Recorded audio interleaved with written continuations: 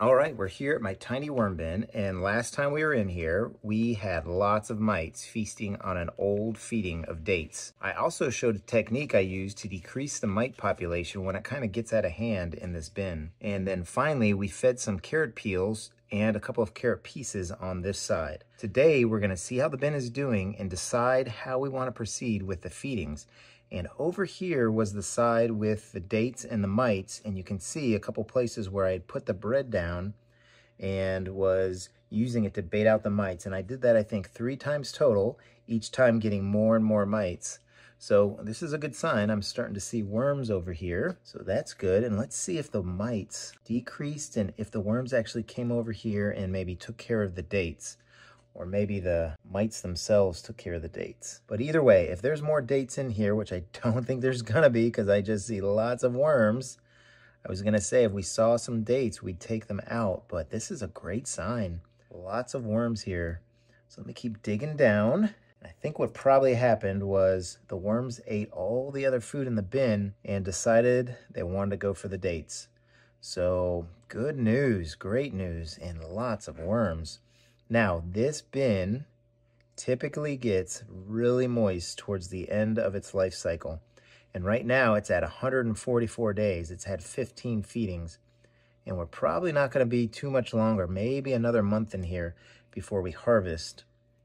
And what I try and do is get the castings a little drier so that they can sift. Right now, if I tried to sift or pick out these worms, all these castings are kind of sticking together.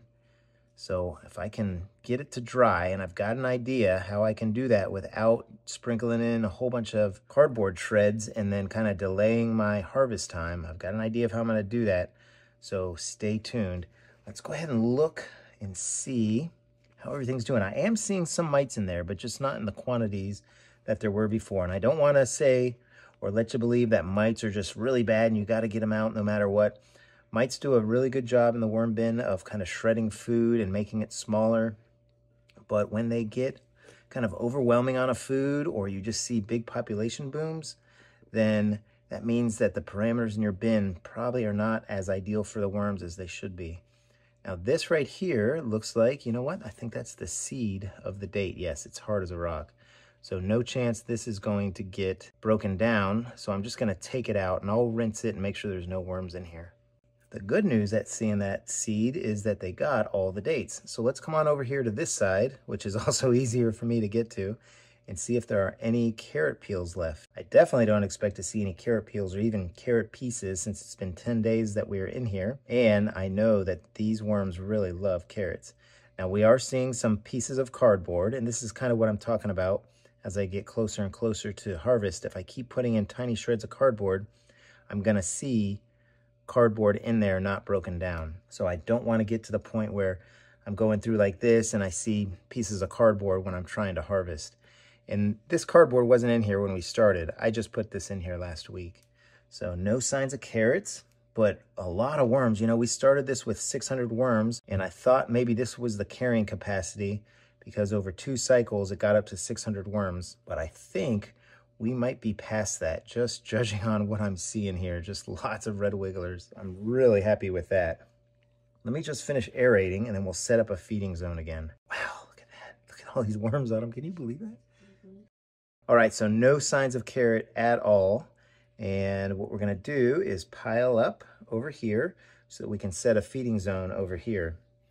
And I'm excited to try this. I think I see AV doing this. I may be mistaken but I'm gonna give this a try with our bedding. So here we go.